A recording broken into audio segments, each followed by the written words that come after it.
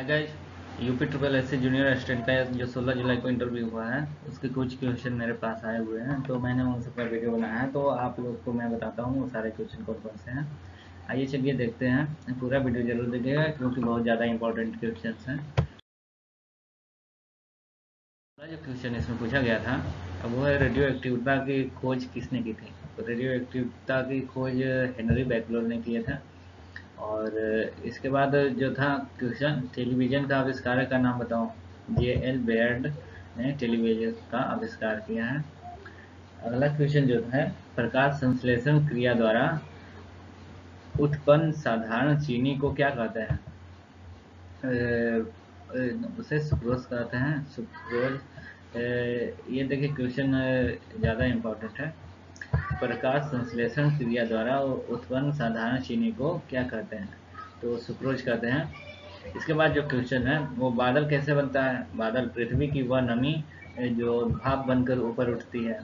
पृथ्वी की वह नमी जो भाप बनकर ऊपर उठती है, वायु के उच्चतर क्षेत्र के जल कणों के रूप में संगठित हो जाती है, और जल कणों से भरी हुई ये हवाएँ बादलों की रचना करती है। बादल कैसे बनते हैं?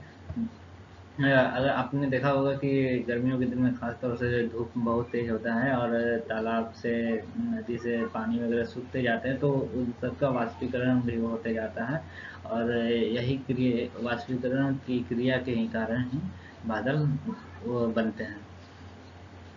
और पूरा वीडियो ज़रूर देखिएगा। इसके बाद चलिए अगला क्वेश्चन देखते हैं। अगला जो क्वेश्चन है, वो बैक्टीरिया से होने वाले तीन रोगों के नाम बताएँ। बैक्टीरिया से होने वाले तीन रोग कौन कौन से हैं? बैक्टीरिया से होने वाले तीन रोग क्षय रोग हैं टाइफाइड है, हैजा है। ये तीनों रोग बैक्टीरिया से होते हैं। और इसके बाद जो क्वेश्चन पूछा गया, बच्चों के पाँच सामान्य रोगों के नाम बताओ।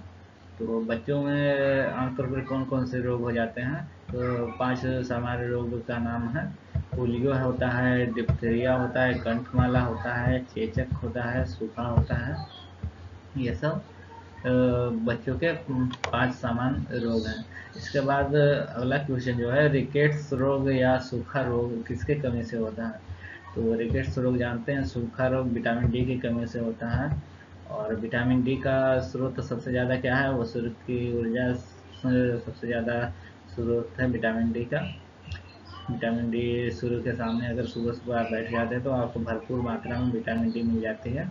इसके बाद अगला क्वेश्चन जो पूछा गया, पनामा नहर का निर्माण कब हुआ? ये देखिए एग्ज़ाम्स के लिए भी इम्पोर्टेंट क्वेश्चन है और ऐसे इंटरव्यू के लिए तो पूछा गया है इसका निर्माण 1914 ईस्वी में हुआ था और यह उत्तरी अमेरिका और दक्षिणी अमेरिका के मध्य स्थित है। यह अटलांटिक और प्रशांत महासागरों को मिलाती है। पनामा नहर का निर्माण कब हुआ? 1914 ईस्वी में। इतना ही याद रखिए, उसके बाद ये सब वैसे याद रखने लायक ही है। और अगर फेसबुक पर पेज या ग्रुप से जुड़ना चाहते हैं मेरे, जहाँ पर और भी स्टडी के बहुत सारे जॉब की तैयारी होती है तो आप लोग यहाँ इस लिंक से जुड़ सकते हैं। इसके बाद चलिए देखते हैं। जो क्वेश्चन पूछा गया, वो है डेल्टा किसे कहते हैं? डेल्टा किसे कहते हैं? तो किसी नदी के मुहाने के निकट मिट्टी और बालू के जम जाने से त्रिकोण स्थल का बनना डेल्टा कहलाता है। डेल्टा का मतलब ये हो गया कि कहीं पर भी नदी हो गया, जहाँ पर बहु बाढ़ या फिर आ गया या नदी में पानी बह रहा है तो पानी का जो बहाव होता है, वो साइड से कट कर अगर जाने लगे और उस जगह पर बालू का जमा हो जाता है ज़्यादा तो उस स्थल को डेल्टा करते हैं। इसके बाद जो क्वेश्चन है, वो संतरा और नींबू में कौन सा विटामिन पाया जाता है? संतरा और नींबू में विटामिन सी पाया जाता है। राज्य में राष्ट्रपति शासन किस अनुच्छेद के तहत लगाया जाता है? तो अनुच्छेद तीन सौ छप्पन के तहत राष्ट्रपति शासन लगाया जाता है। और पीडीएफ अगर चाहिए मेरे वीडियोज़ के तो वो सारे इंटरव्यू के पीडीएफ आपको इस पर मिल जाएगा। आप गूगल पर सर्च कर लेंगे ये लिंक वहाँ से आपको मिल जाएगा। वो है उत्तरी अमेरिका के पूर्वी किनारे पर बहने वाली गर्मधारा को क्या कहते हैं? तो उत्तरी अमेरिका के पूर्वी किनारे पर बहने वाली गर्म धारा को गल्फ स्ट्रीम कहते हैं। मेरिडियन क्या होता है? मेरिडियन यह मानचित्र या ग्लोब पर खींची हुई रेखाएँ होती हैं जो कि किसी स्थान का देशांतर को दर्शाती है। मेरिडियन क्या होता है? यह मानचित्र या ग्लोब पर खींची हुई रेखाएँ होती हैं, जो कि किसी स्थान का देशांतर को दर्शाती है। यहाँ पर यह भी पूछा जा सकता है कि देशांतर रेखाएँ किसे कहते हैं? तो ये भी याद कर लीजिएगा आप लोग। और इसके बाद जो क्वेश्चन पूछा गया, वो पानीपत का प्रथम युद्ध कब हुआ था? तो पानीपत का प्रथम युद्ध 21 अप्रैल 1526 ईस्वी को हुआ था। यह युद्ध दिल्ली के सुल्तान इब्राहिम लोदी एवं बाबर के मध्य लड़ा गया था, जिसमें बाबर की जीत हुई थी। कोई भी एक शास्त्रीय नृत्य के नाम बताओ तो कोई भी एक शास्त्रीय नृत्य का नाम बताना है तो कथक हो गया, शास्त्रीय नृत्य होता है, और कुचिपुड़ी भी है, भरतनाट्यम भी है, उत्तर प्रदेश का ये कथक है शास्त्रीय नृत्य, और ये कुचिपुड़ी है आंध्र प्रदेश का, और ये भरतनाट्यम तमिलनाडु का। तो ये सब याद रखे रहिए, एग्ज़ाम्स में भी पूछे जाते हैं। इसके बाद जो है, उत्तर प्रदेश में कुल स्त्री साक्षरता दर कितनी है? कुल स्त्री साक्षरता दर उत्तर प्रदेश में कितनी है? संतावन दशमलव दो परसेंट। उत्तर प्रदेश में स्त्री की साक्षरता दर है। तो इसके बाद पूछा गया, उत्तर प्रदेश में सर्वाधिक वर्षा कहाँ होती है? तो गोरखपुर में सर्वाधिक वर्षा होती है। मैं एक बात ये कहना चाहता हूँ कि जिन लोगों का इंटरव्यू हो जा रहा है, वो लोग अपने क्वेश्चंस मेरे साथ शेयर करें ताकि मैं उन सब का वीडियो बना सकूँ। क्वेश्चन इस समय बहुत ही कम मिल पा रहे हैं मुझे, इसलिए वीडियो में बहुत कम क्वेश्चन ही ऐड हो पा रही है। आप लोग जिनका इंटरव्यू हो जा रहा है, वो लोग ज़रूर याद रखें ये इस ईमेल आईडी को self guide study at the rate Gmail dot com आप लोग जी मेल पर डायरेक्ट मैसेज के थ्रू आप भेज सकते हैं सारे क्वेश्चंस को। आगे चलिए देखते हैं। पूछा गया। वो है सेकेंड जनरेशन कंप्यूटर के मुख्य घटक क्या था? सेकेंड जनरेशन का मुख्य कंप्यूटर जो था, उसमें ट्रांजिस्टर का प्रयोग हुआ था। इसके बाद जो क्वेश्चन पूछा गया कंप्यूटर को किस प्रकार की बुद्धि की संज्ञा दी गई है? तो कंप्यूटर को कृत्रिम बुद्धि की संज्ञा दी गई है।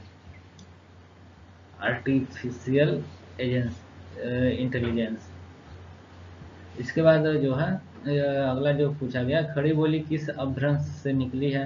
तो खड़ी बोली सौरसेनी अभ्रंश से निकली हुई है। पश्चिमी हिंदी में कौन सी बोली वो आती है? तो पश्चिमी हिंदी में कन्नौजी बोली आती है।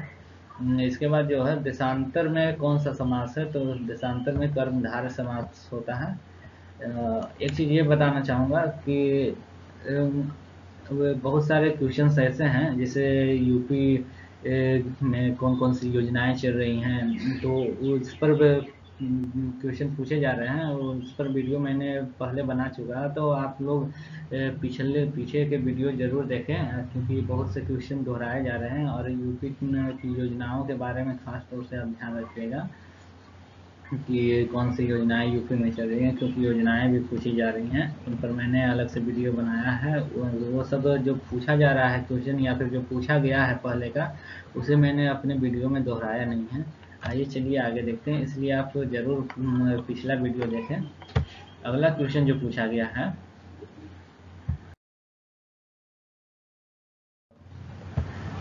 एक महत्वपूर्ण सूचना है कि जो लोग यह वीडियो पहली बार देख रहे हैं, वो लोग मेरे चैनल को सब्सक्राइब ज़रूर करें क्योंकि मैं जो भी वीडियो डालूँगा, वो आप तक आसानी से पहुँच जाएँगे। और वीडियो का लिंक ये है, जहाँ से आप सब्सक्राइब कर सकते हैं W W dot YouTube dot com study centre यहाँ से आप वीडियो को सब्सक्राइब कर सकते हैं चैनल को और वीडियो देख सकते हैं। अगर आपको मेरा ये वीडियो पसंद आया हो तो इसे लाइक करें, शेयर करें शेयर अपने दोस्तों में भी करें ताकि सबका भला हो जाए और सब्सक्राइब ज़रूर करें।